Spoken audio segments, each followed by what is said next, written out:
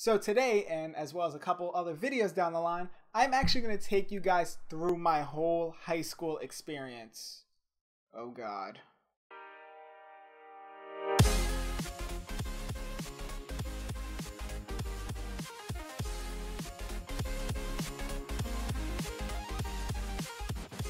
What's going on guys, Justin here, and I finally got my first video request from a viewer so shout out to Lillian Cod who asked me to make a video about my high school experience. And it seemed like Lillian was no joke about this. She wanted to know everything from how was it like, how was I in high school, my love life, everything. I can't simply squeeze four years of high school experience into one video. So I'm gonna split this into three videos. This video, I'm going to tell you guys about the high school I went to, and I'm going to share with you guys my freshman year of high school. Second video, I'm going to show you guys my sophomore and junior year of high school, because not really much happened in those two years.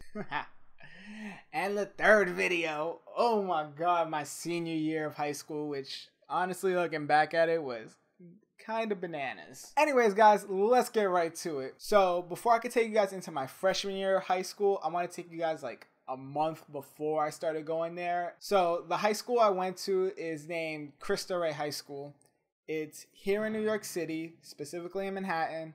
It is a Jesuit high school and it is not your typical private type of high school. It's not your typical high school, period. Essentially, what makes this school different from most is the fact that they have a corporate work study program. So, what that means is students will go to school four days out of the week. But for the fifth day, you're actually going to be working at some pretty big companies. I'm talking about JP Morgan Chase, White and Case, Sandler O'Neill and Partners. We've even had people work for Major League Soccer.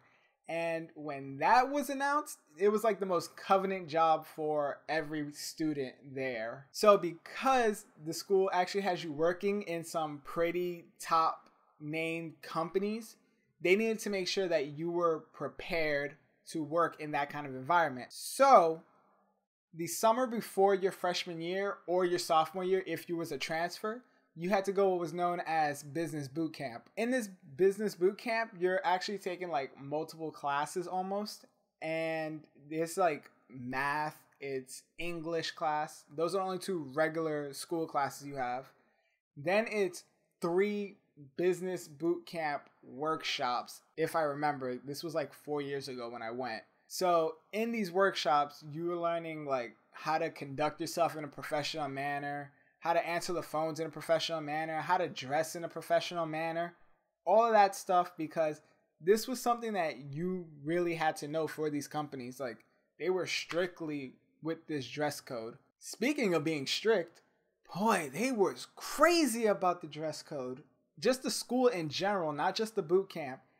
Literally, you got in trouble for not wearing a belt. Teachers or faculty members thought like your pants or ladies, your skirts, anything that you was wearing was a little tight or a little too baggy. If you didn't have a tie on, you got in trouble. And the biggest one that I found most ridiculous was the fact that you weren't allowed to have any facial hair whatsoever. I can't even grow facial hair that much. Like I can grow this and this little thing up here. This little thing has gotten me in trouble more times than anything else in that school. But going to my freshman year, so I was a very reserved, very quiet type of person when I got to high school.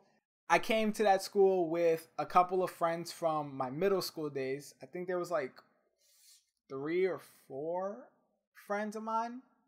So I thought I was good on friends. I thought, you know, I was gonna hang out with them, you know, spend the next four years with those guys and everything would be perfect. That that that didn't happen at all. Even though that there are four classes in high school, your freshmen, sophomore, juniors, seniors, there was actually classes within those as well. So you had, for instance, F1, which was freshman one, who are the honor students. Then you got FA, B, and C. So I was in FA, which was like right below the honors class, like I said.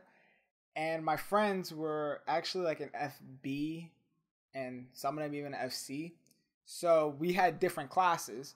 We had different lunch schedules. I did not see them as often as I thought I would. So I had to like break out of that little silent thing. I had to make a couple of friends. And there was one instance that made me make a lot of guy friends very quickly. So what had happened was I was in math class, which was my last class of the day. My principal and a couple other faculty members said after class, all the girls can go home, all the boys have to stay. And we're wondering why are you telling all the boys that they have to stay in class and you're letting the girls go home? After class ended, all the girls went home. They picked up the boys in my class and all the other freshman classes and put us into one room on the fourth floor. We were trying to figure out why we was there. Like nobody said anything to us. They literally put us in that room, closed the door, and that was it. A couple minutes passed and somebody one of the teachers came into the room and told us, "Oh, something happened, an incident happened, and we want the perpetrators to confess to it." Not knowing what happened we don't know what's going on. We don't know what perpetrators, what crime. Like, this was like the ultimate lockdown. It's like we were all in prison. Come to find out, what actually happened was somebody, supposedly it was a freshman guy, went into the boys' bathroom. Guys, you know, if you go to a men's room, between the urinals, there's usually like a little wall, so you know you don't go over it and start looking at people's junk. Somebody actually broke one of those walls, and I'm still trying to figure out to this day how they was able to do that. The school was not that old when I was a freshman. They were like only four years old, so those walls were relatively new. It must have took a lot of force for a 14 or 15 year old guy to break that. They had us locked in that room for around two hours. Um, class ended at 2.55, so we didn't leave till almost 4 or 5 o'clock. All that time, we were just sitting there. The teachers left us alone in there because they wanted somebody to either confess or someone to snitch. And I think one of the weirdest parts about it was one of my classmates who is literally like the definition of a class clown, actually tried to like walk out of the room at one point, and teacher stopped him really quick and sent him right back in. After the two hours of basic lockdown, they let us out. They said something about how they were going to cancel all the sporting events that we had. Like the soccer team was going to forfeit their first game, how there wasn't going to be a flag football team like we planned to have it, which we never got in those four years that I've been there. Anyways, I'm not mad about it. I'm not mad about it. Kind of am mad. I think the worst part about that whole time was when I left. I checked my phone. I got 20 missed calls from my grandmother and from my father. You guys know how this is. When you have a missed call from your parents, you're gonna be dead when you get home. If you miss one call, you're dead when you get home.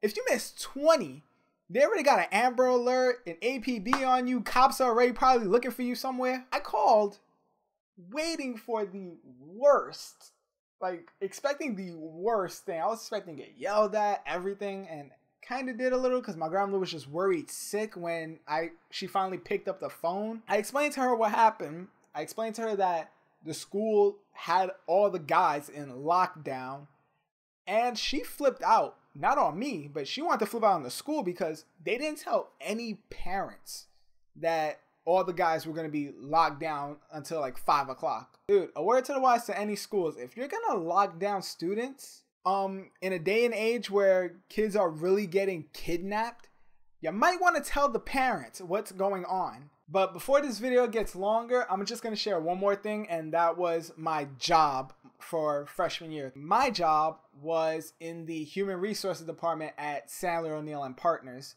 HR, I was an assistant.